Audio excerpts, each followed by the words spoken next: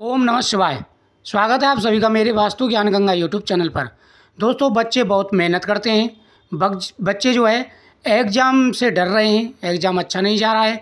तो आपको काली मिर्च का ये उपाय ज़रूर करना चाहिए। इसके करने से बच्चों को विशेष लाभ मिलेगा। माताएँ भी बच्चों के नाम से ये उपाय कर सकती हैं।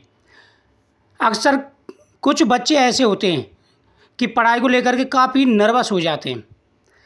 पढ़ाई में अच्छे होते हैं वो, लेकिन पेपर सही नहीं कर पाते, उनको डर लगा रहता है कि हमारे एग्ज़ाम कैसे जाएँगे। तो आप ये काली मिर्च का उपाय कर सकते हैं और एग्ज़ाम के साथ साथ यानी आप किसी भी कार्य को प्रयोग करने से पहले, कहीं भी जाने से पहले ये उपाय कर सकते हैं तो आपको प्रत्येक कार्य में सफलता मिलेगी। देखो आपको क्या करना है कि आपको चार काली मिर्च लेनी है।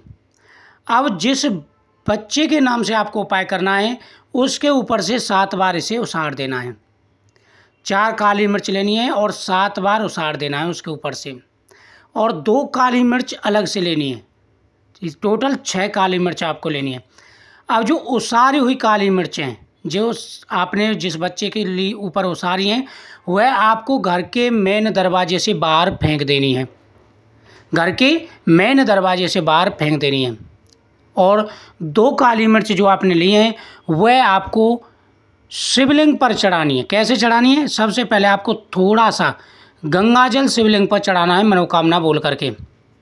थोड़ा सा गंगा जल अपनी मनोकामना बोल करके आपको शिवलिंग पर चढ़ाना है। फिर आपको एक बेलपत्र का पत्ता लेना है और उसके ऊपर दो काली मिर्च आपको रखनी है और यह आपको शिवलिंग पर अर्पण कर देनी है।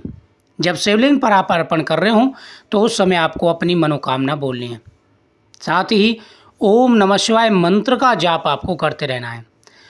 इस उपाय के करने से बच्चे पढ़ाई में अच्छे रहेंगे और हर प्रकार की सफलता उनको मिलेंगी। जब बच्चे जो चार काली मिर्च घर से मैन दरवाजे से बाहर फेंकेंगे तो उल्टे पैर से दबा करके उसको निकल जाना है। काली मिर्चों को उल्टे पैर से दबा करके निकल जाना है। फिर देखना रिज़ल्ट भी आपका अच्छा आएगा बच्चों का और आगे कैरियर में भी उनका जो है बहुत ज़्यादा सफलता मिलेगी। तो ये गुप्त उपाय महा उपाय आपको ज़रूर करना चाहिए। इस उपाय के करने से हर मनोकामना पूरी तो मिलते हैं नेक्स्ट जानकारी के लिए। नेक्स्ट वीडियो में वीडियो को शेयर करें चैनल को सब्सक्राइब करें। ओम नमः।